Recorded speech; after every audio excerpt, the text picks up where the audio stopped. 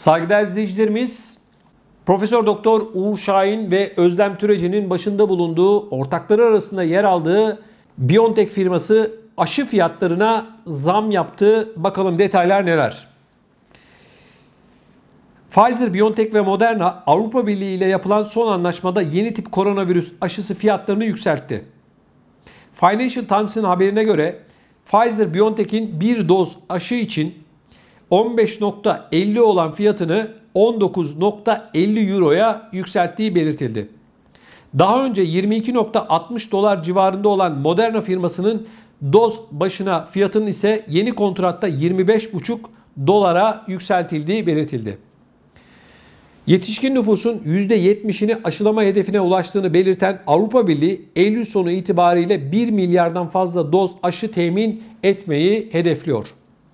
Avrupa İlaç Ajansı EMA şu ana kadar Avrupa Birliği ülkelerinde Pfizer, BioNTech, Moderna, AstraZeneca, Johnson Johnson firmalarınca üretilen aşıların kullanımına izin veriyor. Avrupa Birliği diğer ülkelerin Çin aşısı, Rus aşısı ve benzeri aşıların incelemesine ise devam ediyor, temkinli yaklaşıyor. Değerli izleyicilerimiz, Avrupa Birliği ABD menşeli biyoteknoloji firması Novavax'la da yeni bir aşı anlaşması yaptı. Bu anlaşma 200 milyon dozu kapsıyor. Anlaşmaya göre Avrupa Birliği ülkeleri Novavax aşısından ilk etapta 100 milyon doza kadar satın alabilecek.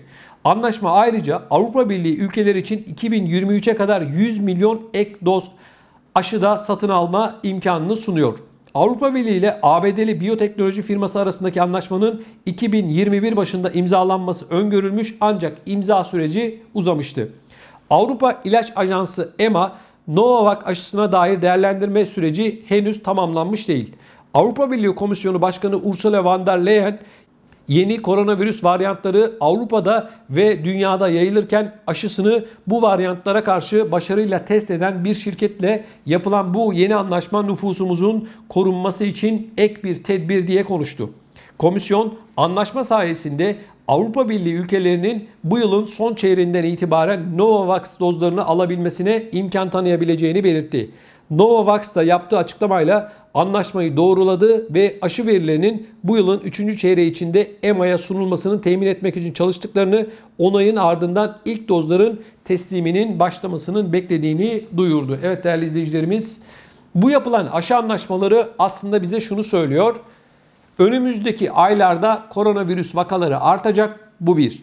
İkincisi biz aşı olmaya devam edeceğiz. İkinci doz, üçüncü doz, 4, 5, 6, 1 milyar dozluk anlaşma yapıldı toplamda diğer şirketlerle.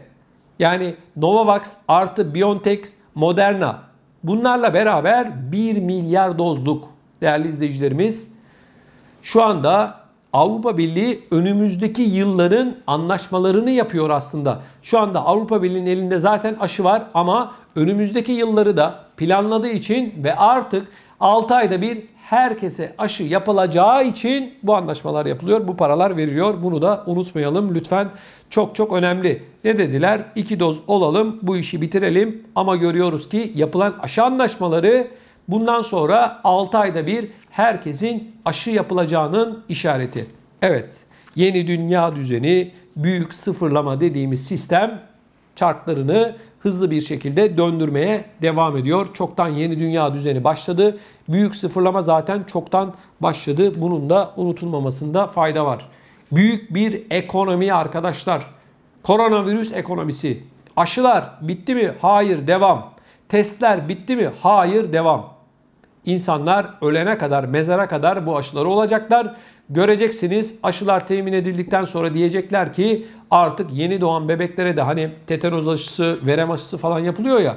Koronavirüs aşısı yeni doğan bebeklere yapılacak. Hiç merak etmeyin kısa zamanda bunun açıklaması da Avrupa Birliği yetkilileri tarafından kamuoyuyla paylaşılacak. Çünkü her şey değerli izleyicilerimiz planlı bir şekilde ilerliyor. 2 doz dediler. 3, 4, 5, 6 devam ediyor. 6 ayda bir antikor seviyesi düşüyor dediler. 6 ayda bir aşıyı yenilememiz gerekiyor dediler. Ne zaman bitecek? Ben söyleyeyim size koronavirüsün ne zaman biteceğini. Aşılar bittiği zaman, testler bittiği zaman koronavirüs bitecek. Ne zaman? Mezarda. Evet, bunun cevabı bu. Saygıdeğer izleyicilerimiz, Belçika'da koronavirüs vakalarının sayısı artmaya diğer Avrupa ülkelerinde olduğu gibi devam ediyor. Belçika'da günlük koronavirüs vaka sayısı 1500 ile 2000 arasına şu anda yükselmiş vaziyette. Ulusal Halk Sağlığı Enstitüsü verilerine göre değerli izleyicilerimiz şu anda son rakamlar 1600 civarında. Covid-19 nedeniyle son bir haftada hastaneye başvuranların sayısı %34 artışla ortalama günlük 38 oldu. PCR testlerinde pozitiflik oranı %3.2'ye yükselirken ortalama ölü sayısı ise 2'den 3'e çıktı. Şimdiye kadar ülkede virüs kaynaklı ölümlerin sayısı böylece 25 bini çoktan geçti. 25 bin 50'ye ulaştı. Ülkede Avrupa Birliği genelinde olduğu gibi delta varyantının dominant olduğu ifade ediliyor. 11.4 milyon nüfuslu Belçika'da Ekim 2020 ortasında başlayan ikinci dalgada vaka sayıları 15 bini aşmıştı. Son olarak Eylül 2020'nin ikinci haftasında 1500'ün altında olduğu kaydedilen vaka sayısı 28 Mayıs 3 Haziran haftasında günlük 1474'e düşmüştü.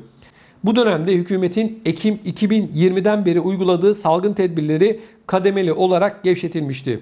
Ülkede aşılamanın başladığı Şubat'ta benzer vaka sayılarında her gün yaklaşık 30 kişi Covid-19'dan hayatını kaybediyordu. Halihazırda ülkedeki tam aşılı yetişkinlerin oranı %70'i geçmiş durumda. Evet Avrupa Birliği'ne göre %70 iyi bir rakam.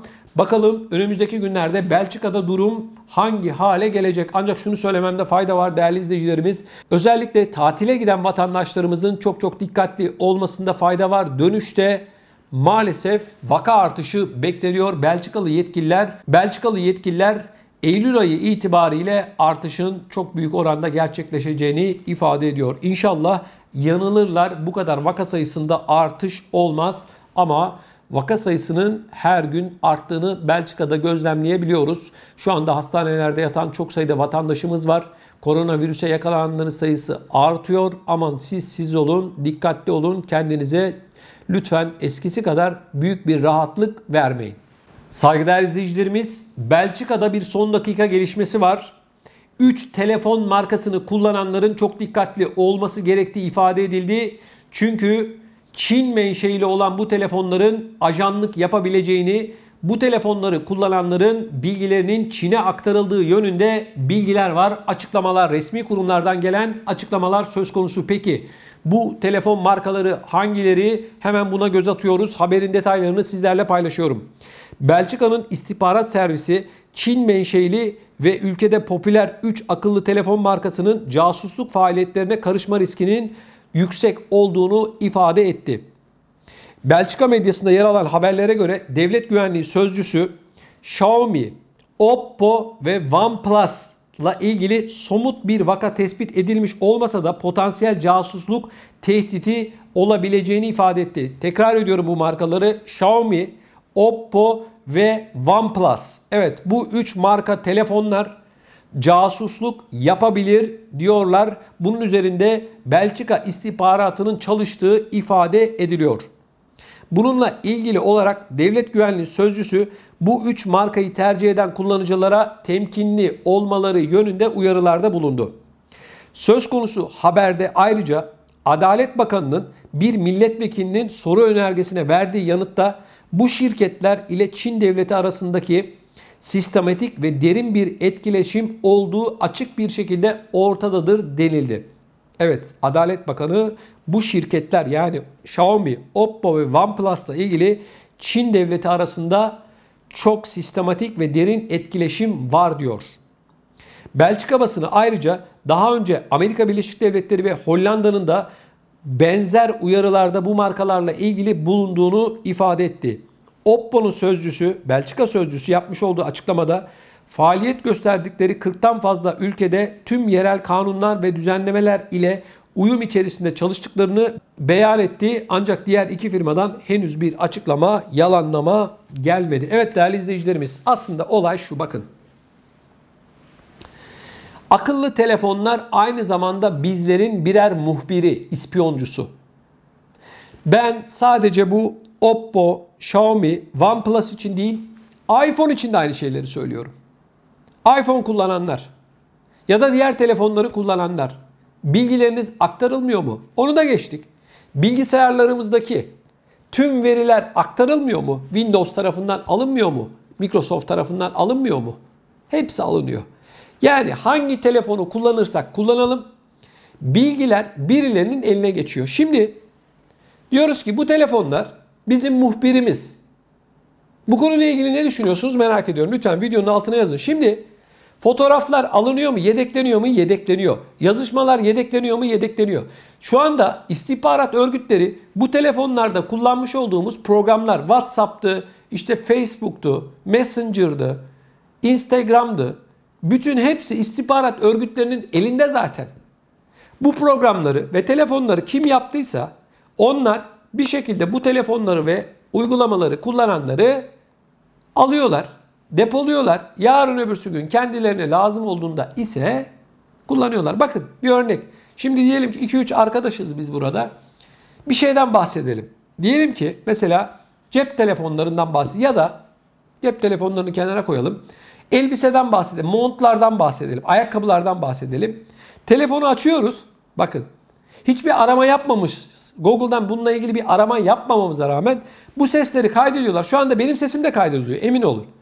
Şimdi ben telefonu açtığımda kısa bir süre sonra elbiseden, ayakkabıdan bahsettiğimiz için ayakkabı ile ilgili reklamlar çıkacak. Bu ne demek biliyor musunuz? Dinleniyoruz demek. Bu ne demek biliyor musunuz? Bizi takip ediyorlar demek. Bu kadar basit. Şimdi Belçika istihbaratı uyarmış. Diyor ki Xiaomi, Oppo ve OnePlus. Peki dünyanın en çok kullanılan telefonlarından bir tanesi olan iPhone ile ilgili durum ne? Amerika Birleşik Devletleri iPhone kullananları takip etmiyor mu? Bilgilerini almıyor mu? WhatsApp kullananlar takip edilmiyor mu? Viber kullananlar Almanya tarafından takip edilmiyor mu? Telegram kullananlar Rusya tarafından takip edilmiyor mu? Hangi ülke yaptıysa bu yazılımları aynı şekilde sizin bütün bilgilerinizi, konuşmalarınızı, yazışmalarınızı, fotoğraflarınızı, videolarınızı depoluyor. Şimdi Belçika açıklıyor evet güzel bir haber ama şu anda teknolojik olarak hangi ülke buna sahipse, bunun içerisindeki programlara sahipse arkadaşlar emin olun ki onlar bizi takip ediyorlar. Ya bu telefonları, bu bilgisayarları kullanmayacağız ya da kullanacağız. İkisi arasında. O nedenle yazışmalar vesaire yani biz sıradan insanlarız. Bizim hani böyle bir şeyimiz yok. Takip etseler ne olacak? Yazışmaları okusalar ne olacak? Hiçbir anlamı yok yani. Ne olacak yani? Bizde bir şey yok ama insanlar artık teknolojinin takibi altında insanlar artık teknolojinin esiri olmuş vaziyette. Hepimiz birer köleyiz arkadaşlar. Evet, sen de kölesin, ben de köleyim. Takip ediliyoruz. Evet ediliyoruz. Dinleniyoruz. Evet dinleniyoruz. Dinlenmiyoruz, takip edilmiyoruz falan. Bunlar yok. Şu telefonu aldın mı, sim kartı taktın mı bitti, geçmiş olsun. Her şey bitiyor. Sim kartı taktın, telefonu çalıştırdın, takiptesin. WhatsApp açtın, yazıştın, okunuyor, görülüyor. Telegram'ı açtın, okunuyor, görülüyor. Viber'ı açtın, okunuyor, görünüyor. Hangi programı kullanırsan kullan bir yedeği bir yerde arkadaşlar bunların.